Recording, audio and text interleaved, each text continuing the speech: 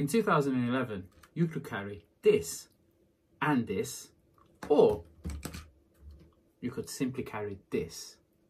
This is the Techno Reviewer. Roll the intro.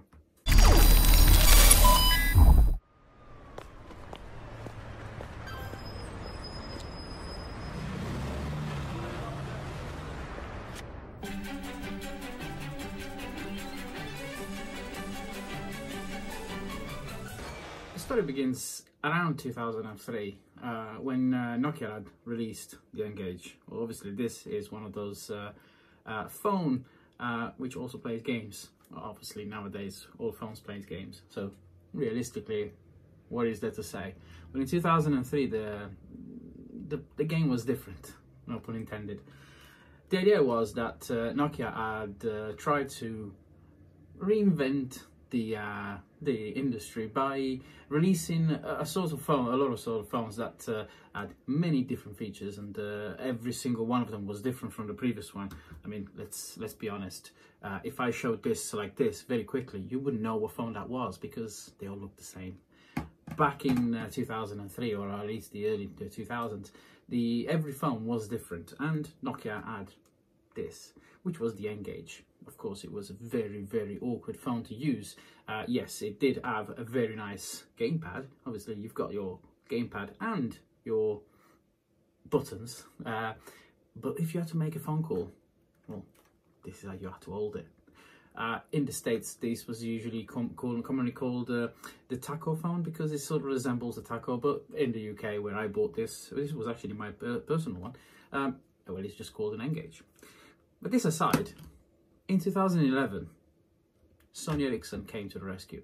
The idea was that uh, the uh, the phone was supposed to have been released many many years before, uh, and the idea was then forgotten.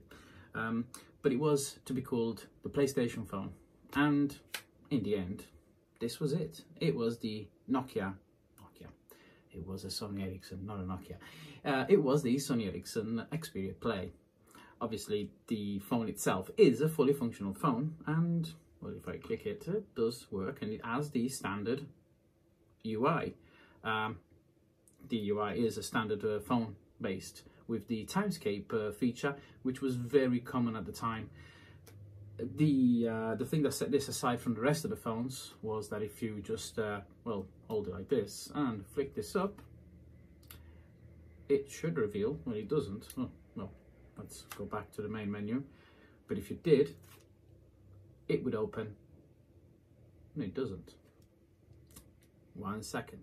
Well yeah it would open the uh, this media crossbar type of uh, layout. Well actually it's not a media crossbar uh, or cross media bar XMB um, well it's not. It's uh, it's more of a um, a function that allows you to pick different games and allows you to uh, see what you've got and perhaps play them. There's quite a few games on this one. What happened was that in 2019, in fact last year, I think around October, support to download these games was then completely revoked. You no longer had the access to the servers and you were no longer able to download the games.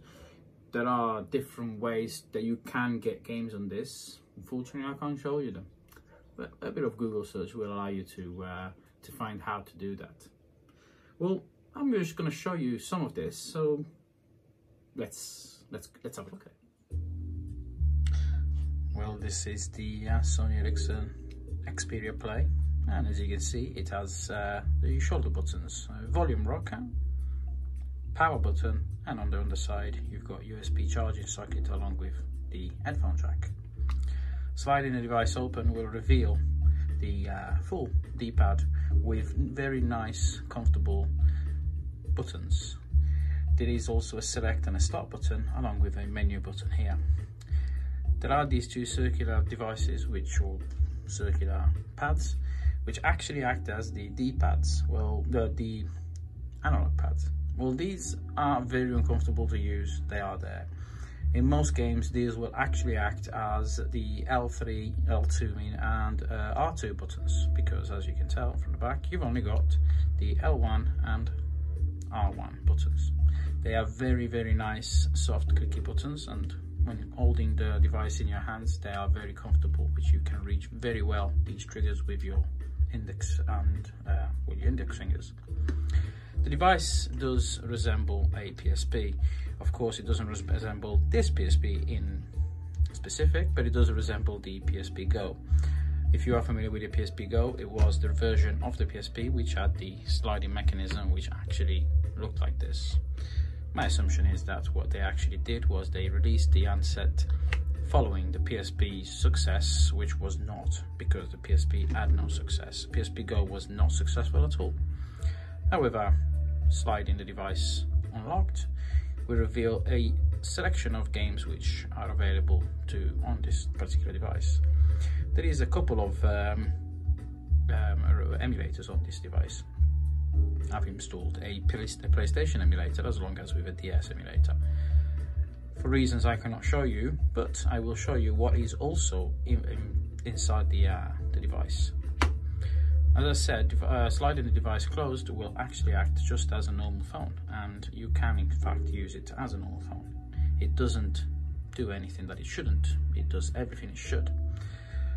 This was originally shipped with two uh, with uh, Android um, 2.3.3, which does give it a bit of a uh, downside when actually uh, using the device because it's quite slow nowadays. You can't really use it uh, as a phone anymore because it is quite quite slow. As well as the market is not updatable and it does update to a certain version, but it doesn't go to the latest um, Android Play, well, Google Play, or Play Store.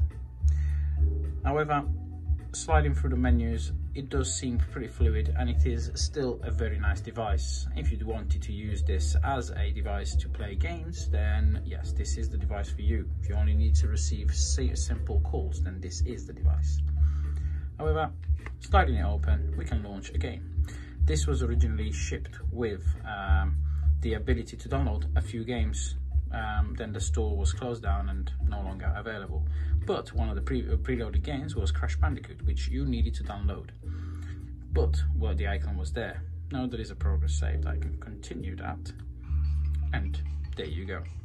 Now the game does load pretty quick and it's very very easy and intuitive to use. It has the same buttons as you would expect on the PlayStation along with the, uh, the standard triggers. So if I go on and actually play the game, you can see that it does allow you to play very, very well. As I said, it's very, very, very intuitive. The game itself does work very well and it does not have any lag whatsoever. It is very difficult because I am using, I'm trying to look at the screen through the screen that I'm recording. So yeah, not the greatest. But resolution wise, what you can tell, it's not too bad. The game itself does offer like different features like uh, the uh, ability to change the controller settings, the volume, and uh, if there are multiple disc games, there's also the ability to switch discs.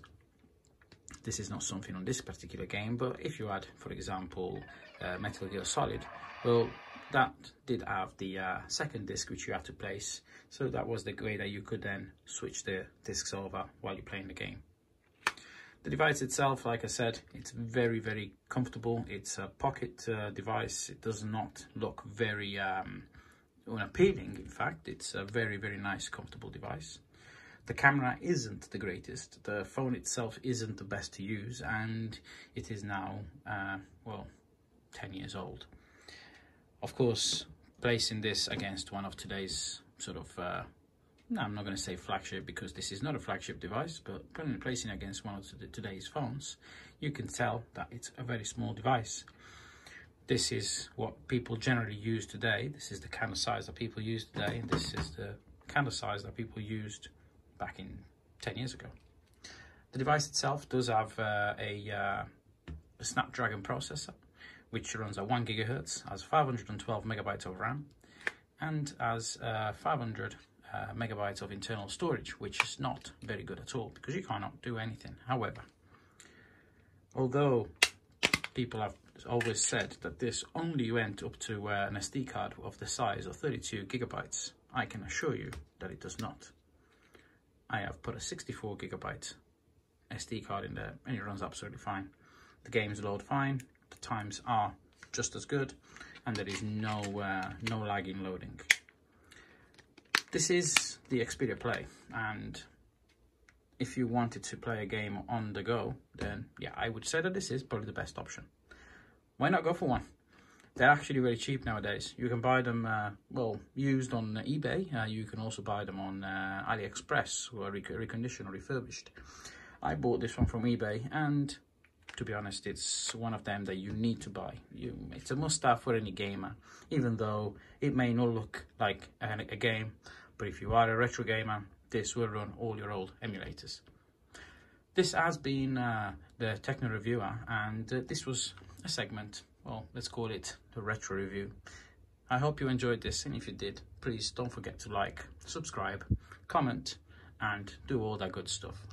I've also got now links for Patreon if anyone wants to sponsor me and help me with um, channel, well, my uh, growing of the channel. I've also got my Instagram, so don't don't forget to check out my Instagram. And uh, well, we'll catch you soon. This has been uh, the Techno Reviewer, and I'm signing out.